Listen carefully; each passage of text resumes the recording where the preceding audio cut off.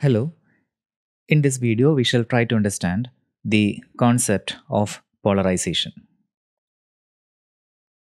We shall see how the wave equation can be written by taking into account the direction of polarization of the wave.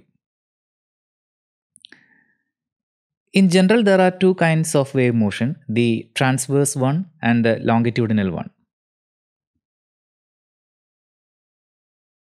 To understand the phenomenon of transverse wave motion, let us consider the example of a string that is tied at one end. The other end of the string is free to move, where we give it a gentle shake so that a wave is formed in the string. As shown in this figure, the direction of propagation is along the direction in which the red arrow is shown. When the wave move along the direction of the red arrow, we can see that the vibrations in the string is along a direction that is shown by the blue arrow. That is the vibrations in the string is along a direction perpendicular to the direction of travel of the wave. This vibration can be considered along a vertical direction. So this is the direction of propagation and this is the direction of vibration. We can also have the vibration along a horizontal direction that is like this.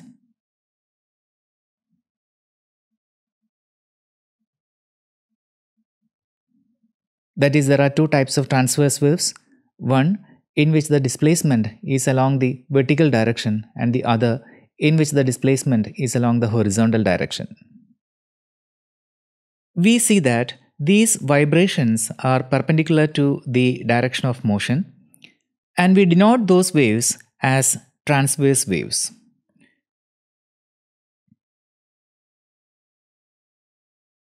To demonstrate the second type of wave motion, we shall take a spring and attach it at one end. At the free end, we shall give a vibration along the horizontal direction and in this case we can see that the wave propagates along the string as compression and elongation. So this region is characterized by a compression and this region is characterized by elongation. And this kind of wave motion is known as a longitudinal wave motion because the displacement from equilibrium is along the direction of the propagation. So in this case, if we consider this as the equilibrium position, we can see that the displacement is along the direction of propagation. In this case, we define the wavelength of the wave as the distance between successive elongations or successive compressions. And we define the polarization of the wave as the direction along which the vibrations are occurring. So this figure shows the three cases of a transverse wave. In the first figure, the vibrations are along the x direction. And in the second case, the vibration is along the y direction. And in the third case, the vibration is inclined at an angle theta with respect to the x axis. In the first case, we'll say that the wave is polarized along the x direction. In the second case, we shall say that the wave is polarized along the y direction. And in the third case, we shall indicate the direction of polarization as n hat. That is, it is inclined at an angle theta with respect to the x axis. Now, for the transverse waves that are occurring in the x direction, we shall write the expression for wave motion as fvzt equal to a complex e raised to i k z minus omega t. So we assume that it is a wave that is moving along the positive z direction. And to indicate the polarization of the wave, we shall add x hat. And we call this wave as a vertically polarized wave. For transverse waves whose polarization is along the y hat direction, we shall write f complex h z comma t. This is equal to a complex e raised to i k z minus omega t. Then the direction of polarization of the wave is indicated by y hat. And such kinds of waves will be known as a horizontally polarized wave. Transverse wave motion need not be always along the x hat or y hat direction. It can sometimes be oriented at a definite angle with respect to the y hat or x hat direction as we see in the third figure. In this case, the vibrations of the wave, which are indicated by n hat, is oriented at an angle theta with respect to the x axis.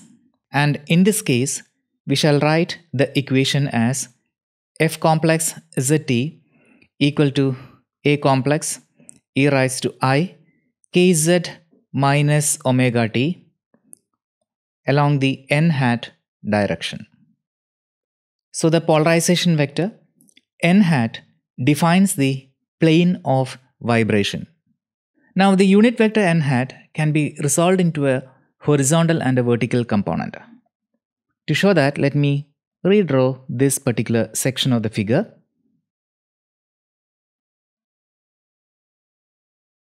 This is the direction of x and this is the direction of y. And the unit vector n hat is oriented at an angle theta with respect to the x-axis. Let us resolve this into two components. The component along the x direction will be modulus n times cos theta. Since n hat is a unit vector, this can be written as cos theta. Now, the horizontal component is n hat sine theta and this can be taken as sine theta. So that in terms of the polarization angle theta, the polarization angle is the angle with which the wave is oriented with respect to the x or the y direction. We can write the unit vector n hat as equal to cos theta along the x direction and sine theta along the y direction. Now the waves are transverse. That means that n hat is perpendicular to the direction of propagation. Therefore, when we take the dot product of n hat and z hat, this will be equal to 0. Thus, the wave that is pictured in this figure can be considered as a superposition of two waves one which is horizontally polarized and the other that is vertically polarized.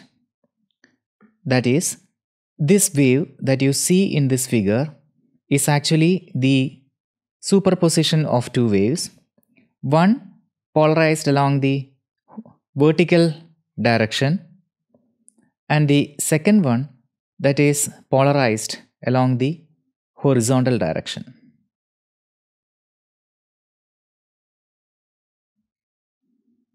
We can show that mathematically. We know that f complex, which is a function of z and t, this is equal to a complex e raised to i kz minus omega t and the wave is polarized along the n hat direction and this is equal to a complex e raised to i kz minus omega t and then cos theta x hat plus sine theta y hat. When we expand, this will be a complex cos theta, then e raised to i k z minus omega t along the x hat direction plus a complex sine theta e raised to i k z minus omega t along the y hat direction. So we have shown that the wave shown to be along the n hat direction can be considered as the superposition of two waves, one horizontally polarized and the other vertically polarized. The vertical polarization is defined to be having theta as 0 degree and therefore when we substitute this in the above expression we'll get the vertically polarized wave as equal to a complex e raised to i kz minus omega t along the x hat direction. For horizontal polarization, theta will be equal to 90 degree and this will yield f complex h zt as equal to a complex e raised to i kz minus omega t along the y hat direction.